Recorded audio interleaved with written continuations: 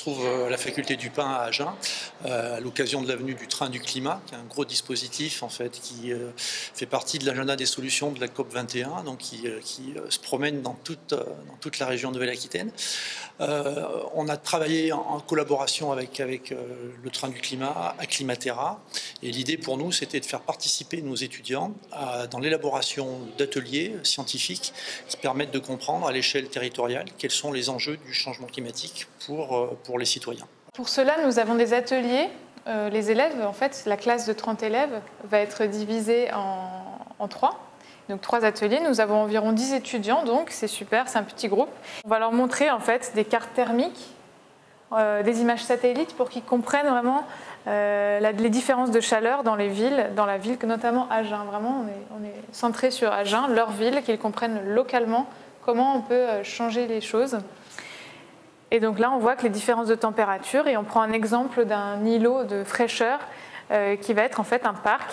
On les fait deviner, on est en démarche expérimentale, on essaie vraiment de faire euh, parler les étudiants et comprendre. Et face à cette problématique qu'on a, euh, nous allons après expérimenter avec eux. On les questionne, alors qu'est-ce qu'on a comme matériel? Ils nous répondent. Ensuite, on prend trois élèves qui vont expérimenter vraiment et ils vont écrire les relevés de température de l'air ambiant à un temps T.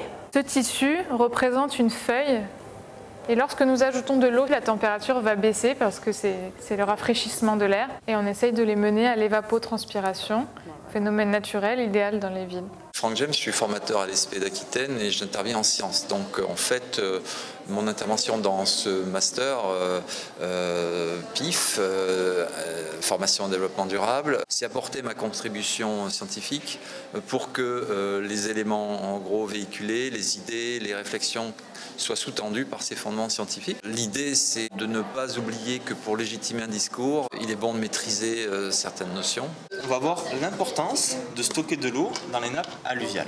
En plus en fait du, train du climat qui consiste en fait en quatre wagons SNCF qui seront tout de suite à la gare d'Agen, euh, un dispositif un peu spécifique ici à l'université de la faculté du Pain euh, avec euh, un espace qu'on a appelé nous espace solution territoriale, solution locale en fait au changement climatique qui consiste donc en ces ateliers qui eux-mêmes en fait sont des ateliers qui déclinent trois, trois dimensions en fait qui sont des dimensions de recherche et d'action d'un cluster qui s'appelle le cluster eau et adaptation au changement climatique, qui est présidé par Jean-François Berthoumieux.